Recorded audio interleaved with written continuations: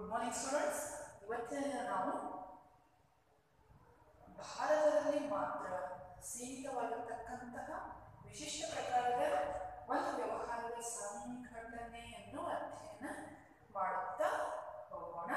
ಅದರ ಹೆಸರು ಹಿಂದೂ ಅವಿಭಕ್ತ ಕುಟುಂಬದ ವ್ಯವಹಾರ ಈ ಅವಿಭಕ್ತ ಕುಟುಂಬದ ವ್ಯವಹಾರದಲ್ಲಿ ಮೊದಲಿಗೆ ನಾವು ಅರ್ಥದ ವಿವರಣೆಯನ್ನ ನಂತರ ಲಕ್ಷಣಗಳನ್ನ ಅಧ್ಯಯನ ಮಾಡೋಣ ಇಲ್ಲಿ ಪ್ರಮುಖವಾದಂತಹ ಒಬ್ಬ ವ್ಯಕ್ತಿಯನ್ನ ನಾವು ಪರಿಚಯ ಮಾಡಿಕೊಳ್ಳೋಣ. ಕರ್ತ ಎಂದರೆ ಯಾರು? ಅದೇ ರೀತಿ ಈ ಕುಟುಂಬದ ವ್ಯವಹಾರ ಪದ್ಧತಿಗಳು ಎಷ್ಟು ಎಂಬುದನ್ನ ತಿಳಿದುಕೊಳ್ಳೋಣ. ವಿದ್ಯಾರ್ಥಿಗಳೇ, ಇಲ್ಲಿ ಒಂದು ಉದಾಹರಣೆ ಉದಾಹರಣೆಯೊಂದಿಗೆ ನೋಡೋಣ. ಎ ಅನ್ನುವಂತಹ ಒಬ್ಬ ವ್ಯಕ್ತಿ ಸಾಕಷ್ಟು ಆಸ್ತಿಯನ್ನು ಹೊಂದಿದ್ದು, ಅವನಿಗೆ ನಾಲ್ಕು ಜನ ಮಕ್ಕಳು ಇದ್ದಾರೆ. ಒಂದು, ಎರಡು, ಮೂರು, ನಾಲ್ಕು ಜನ ಮಕ್ಕಳು ಇದ್ದಾರೆ. ಅವನೊಬ್ಬನು ಮತ್ತು ಈ ನಾಲ್ಕು ಜನ ಕೂಡಿಕೊಂಡು ಒಂದು ವ್ಯವಹಾರವನ್ನ ನಡೆಸಿಕೊಂಡು ಹೋಗುವಾಗ ಕುಟುಂಬದ ಹಿರಿಯ ವ್ಯಕ್ತಿಯನ್ನ ಕರ್ತ ಎಂದು ಕರೆಯುತ್ತಾರೆ. ಮತ್ತು ಆ ನಾಲ್ಕು ಜನ ಮಕ್ಕಳನ್ನ ಸದಸ್ಯರು